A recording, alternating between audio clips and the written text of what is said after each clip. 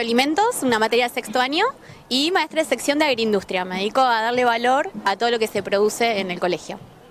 Yo me detuve acá porque empecé a probar.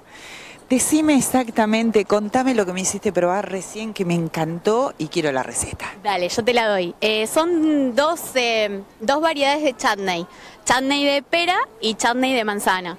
Eh, los chutney son unas mezclas agridulces para acompañar un plato neutro como podría ser una tostada de pan de campo con queso y eso arriba, o unas carnes, carnes eh, eh, blancas como el pollo o el cerdo. Sí, yo probé recién el de pera para cerdo, iba...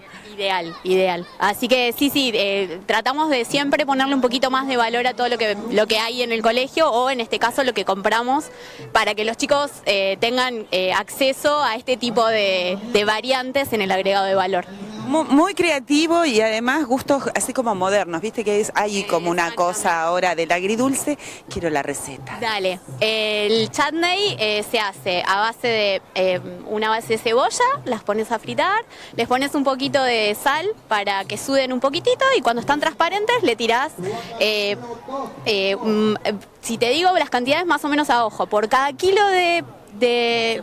Sí, no, por cada kilo de, fruta que utilices, ya te digo, eh, pera o manzana van bien, cortaditas en cubito, le tirás, eh, son una cebolla grande, 200 eh, de, 250 mililitros de vinagre, 200 gramos de azúcar y un poquitito de sal. Y después lo condimentas con pimienta o lo que quieras, le puedes poner este tropezones. Este estaba picantito. usamos pimienta negra con el que está picante y pimienta blanca con el que no está tan picante. Así que le vas dando. No, no, no, jengibre no. Jengibre tenemos unas mermeladas que hicimos, eh, un mix oriental que le pusimos, son los cítricos del colegio, con un poquito de jengibre y un poco de calabaza también que producimos en el colegio. Esto lo podemos encontrar en el colegio, ir a pedirlo y mm, bueno, ojalá algún día puedan salir directamente al mercado. Es la idea, es la idea de tener producción y bueno, y poder abastecer eh, al, que, al que quiera. Aparte la comunidad de GAN y los mismos chicos y la comunidad educativa ya se llevan los productos que elaboramos, así que ya los, ellos ya los conocen. Vamos a ver si lo podemos incorporar también a una de las tantas cenas que se hacen, eh, así para la comunidad y que puedan probar este tipo de, este tipo de sabores, ¿no? Eh, muy bien elaborados, maravillosamente presentados también. Sí, sí, bueno, pero en realidad esto es un trabajo en equipo, es decir, nosotros solamente con los chicos de sexto eh, elaboramos y la parte del etiquetado, o por ejemplo, esta, esta que es otra de las, de las líneas que se hacen, sí, que se hacen en realidad, esto es eh, un proyecto de huerta saludable, en donde los chicos primero investigaron, con una materia que se llama investigación del medio, todas las propiedades de las medicinales y eh, las aromáticas. Entonces, cada una eh, se centró en una especie y después en huerta las sembramos y ellos después las cosecharon.